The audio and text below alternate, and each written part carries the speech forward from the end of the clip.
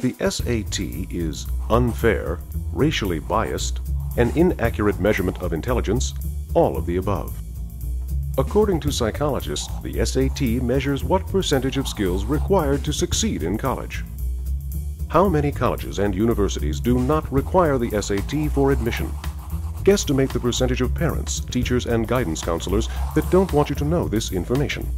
Skip the test. Life isn't multiple choice.